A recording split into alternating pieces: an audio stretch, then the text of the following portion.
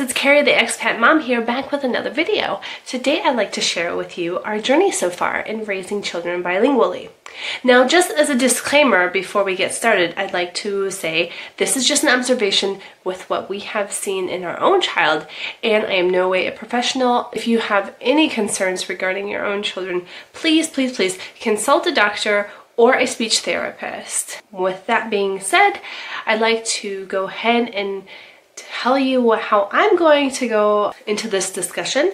First, I would like to talk to you about what methods we have used in regarding our own children's bilingual upbringing, and I'll continue into how our oldest child has so far developed regarding being a bilingual and not just a monolingual, and then I'll finish out with what the future has in store with us.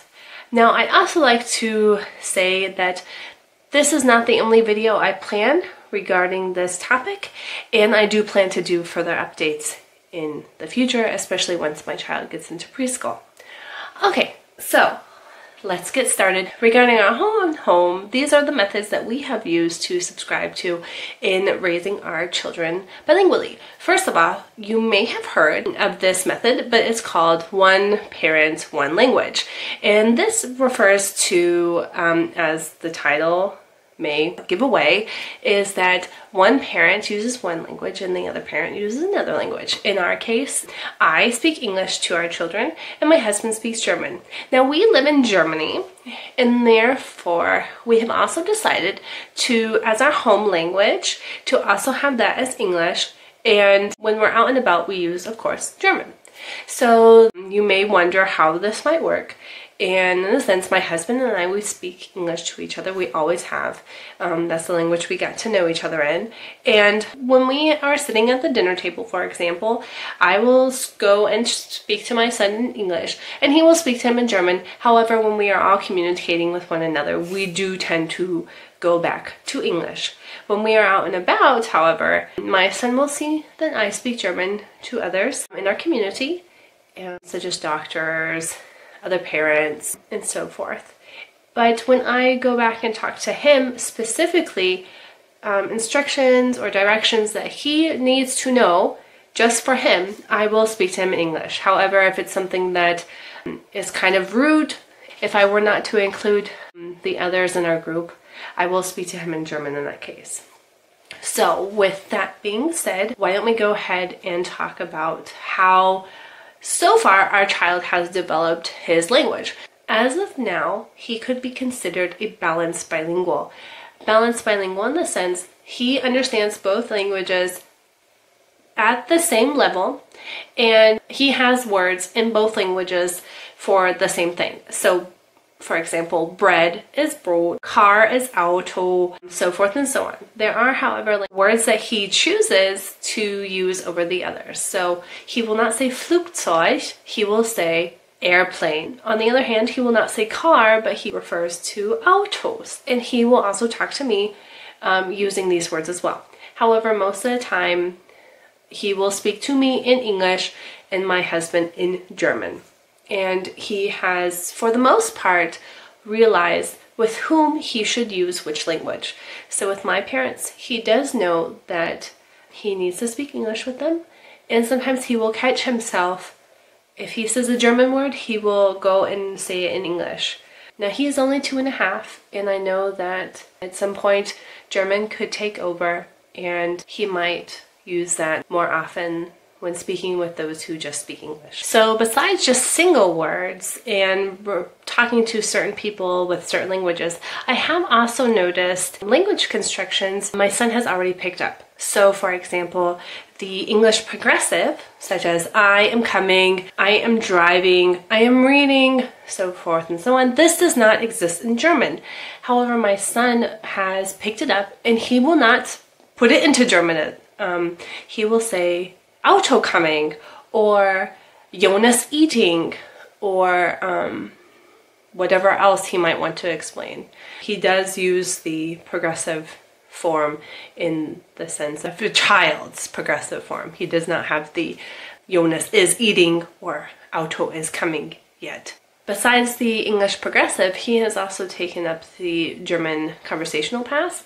So he does not use the, in the sense, he does not use the English ED forms.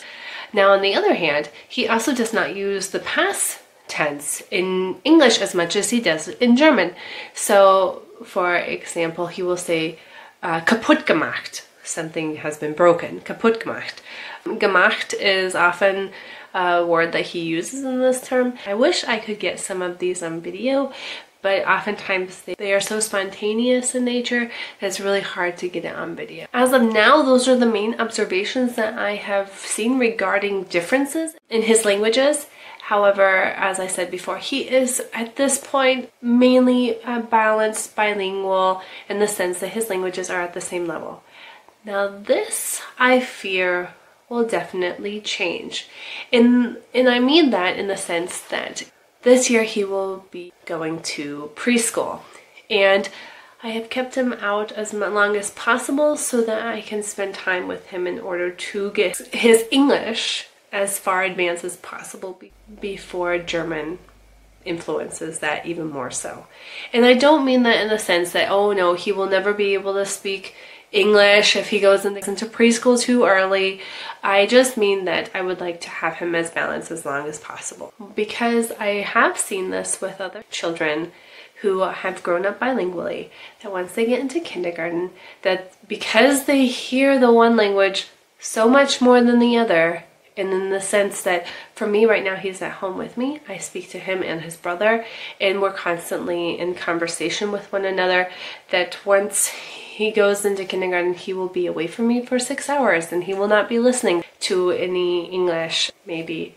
And so that will influence his his use of the language. There's no doubt about it. How much so i really can't say but i do plan on taking some care in maintaining his English as long as possible. I do know that because we don't even live in the United States or in the UK or in Australia or anywhere where they speak English in the community really, that he will lose that social aspect of language more so than a child who is growing up in the United States.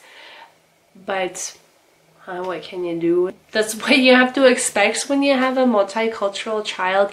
There are some some areas of a language will just not be there. Now regarding what I plan to do in order to keep his language going once he's in preschool, things I've already done are we read English books, we listen to English music, we watch English cartoon shows or rather shows that are in English, we play games, flashcards, puzzles, anything that I can imagine that um, especially once he gets older that he will be able to focus more on such as games that those things are done with me in English because that will still allow him to have that English input and once his brother starts speaking as well that might be a little bit easier to to have both of them speaking in English and that there will be more than just a few of us communicating in my mother tongue. Besides that, we also hope that the preschool that we we have him ready to be enrolled in is that they also have an English hour every week, but that's only once the kids get to be four years old. With that being said, I think that's come down to the end of this bilingual update. I do plan to do more of these in the future, especially once my little little one starts speaking as well because then I can also capture how his first language interactions are, which I didn't get so much with my older ones. So if you like this video, um, please give it a thumbs up. Video, feel free to also subscribe. I do plan on doing more types of these videos as well as other videos regarding expat life and raising children abroad. You can also catch me on Instagram and Twitter at expatmommy09 or 09, the number 09. And with that being said, I hope you guys are all having a wonderful week. I hope you enjoyed this video and I'll see you again soon. Bye! I'll see you later. no, no, no.